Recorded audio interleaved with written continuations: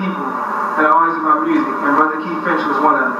And everyone from knows that he was musician. And Keith was going to be a surprise performer tonight. He was going to play something as soon as he got out of the hospital. And not only that reason because he passed away, uh, that's not the only reason, but because he's been a support for me, I know I could look to the left and join nights and see Brother David Berman, David Whitaker, you stand David Berman, David Whitaker, Keith in the corner. I can see that picture is like, David, David Whitaker get that mud, you know, like hands, like singing out on, you know, and patting their heads, and then afterwards I always go to them and, you know, be like, you know, when I need to work on it, you know, and they'll, they'll let me know what the deal is. But um, Brother Keith Finch was definitely one who wanted to see this happen, who would have been here and who would have shared this with me. So on that note, I dedicate this whole concert to Brother Keith Finch. And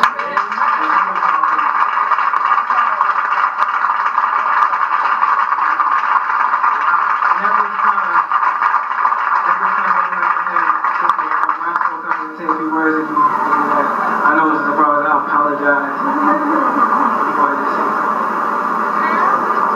Give my she comes forward. She always encouraged me also. Always. And I'm messing with a song. She said, you gotta watch your shirt. That's how part of it. She said, you gotta watch her. And, you know, you gotta pay attention to the hammer. You know, she always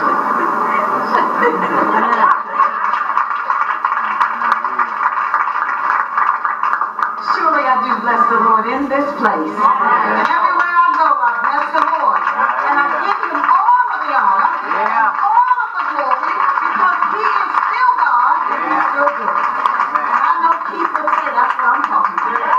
Praise the Lord. God bless you. What a joy it is to be here, to be able to fellowship with you on this very important day in your life, Brother Calvin. And I count it an honor and a privilege not only to be in the house of the Lord, but to be standing here beside a great man of God. And I don't just say that because I'm standing here, because I told you that all the time. And the thing I like about Brother Calvin is his testimony is always consistent, never changes. No matter when you call on him, he sings about the Lord. His music might be different. You know, some from the old school like me is, is more accustomed to traditional gospel. But the one thing I can say about this young man is he always sings about Jesus Christ, and his is always a message of hope. And I love that in him. And I, you are certainly an inspiration to all of the young people. So we are praying for you. My husband and I have already prayed for you that God would bless this night, that the anointing would fall fresh upon you, and not only you, but all who is a part of this assembly. And that is our continuous prayer for you. And I thank you so much on behalf of what you've done for my son Keith. And I know he would have been here because he told me that back in August when he was at home before he went back to the hospital. He, he, in fact, he told me about the concert before it was announced at church, and he said, I'll be there. So, God bless you all, and God bless you.